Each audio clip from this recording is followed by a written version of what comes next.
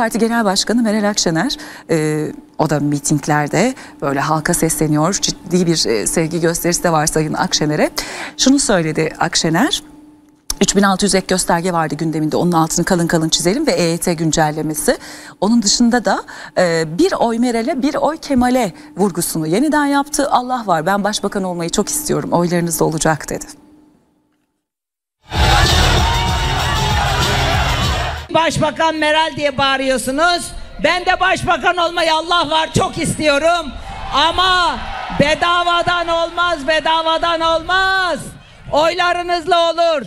İyi Parti'yi birinci parti yaparsanız olur.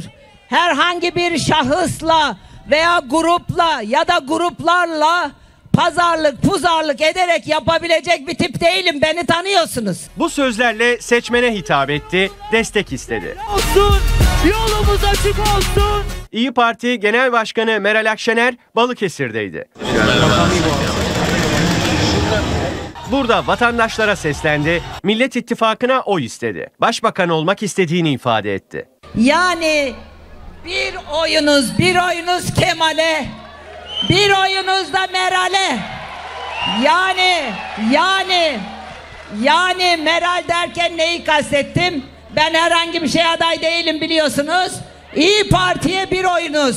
Bir oyunuz Millet İttifakı'nın Cumhurbaşkanı adayı olan Sayın Kılıçdaroğlu'na gideceksiniz.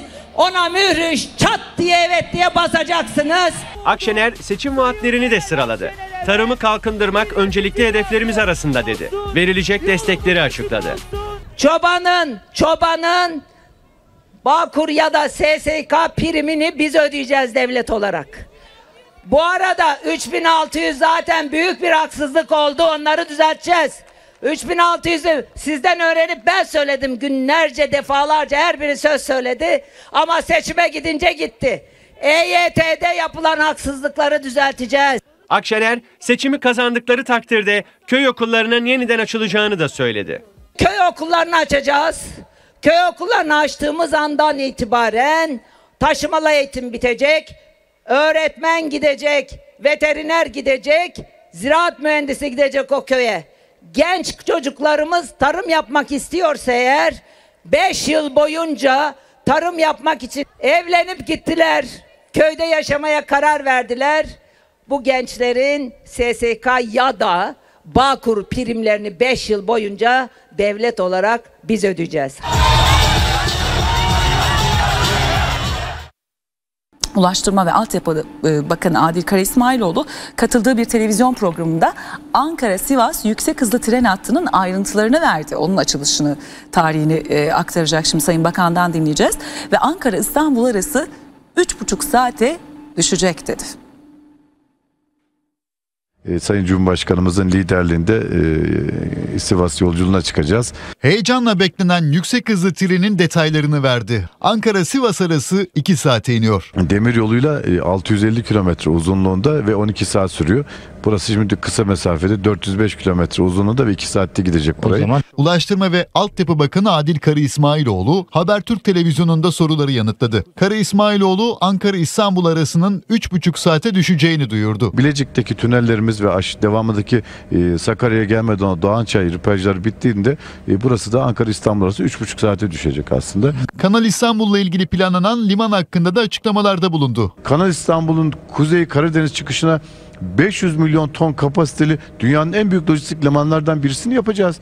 Biz bunları planlıyoruz, büyük düşünüyoruz. Önümüzdeki 50 yılı düşünüyoruz. İstanbul Büyükşehir Belediyesi'nin engellendiği iddialarına yanıt veren Ulaştırma ve Altyapı Bakanı Adil Karı İsmailoğlu ortada para da yok, işte yok dedi. İstanbul Büyükşehir Belediyesi'ne 2019 yılından sonra tam 300 milyon lira, 300 milyar lira genel bütçeden para gelmiştir. Ve bunun yanında İstanbul Büyükşehir Belediyesi'nin e, kendi gelirleri de vardır. Hadi onları saymayın. 300 milyar lira para gitmiştir. Ortada para da yok, iş de yok. E bunun hesabında milletimiz soracak Oradan- tabii ki. Deprem bölgesindeki çalışmalardan bahseden Bakan Kara İsmailoğlu transfer edilen yaralı sayısını açıkladı. Hatay Havalimanı hakkında son durumu paylaştı. 100 binin üzerinde o ilk ayda transfer gerçekleştirdi. Hatay Havalimanı ta AK Parti hükümetlerinin öncesinde başlanmış yeri tespit edilmiş bir ve kangren olmuş uzun sürmüş ve 2007 yılında yine AK Parti hükümetlerinin bu uzanmış işi işi, geçmişte başlanmış bir işi hızlı müdahale bitirip terminalini yaptıkları e, bir iş olarak Hatay'a kazandırılmış bir projedir burası. Yoğunluk biraz azaldıktan sonra biz burayı e, tamamen yeniden sıfırdan e, pisti yenilemek için projelerimizi bir taraftan hazırlandırıyoruz.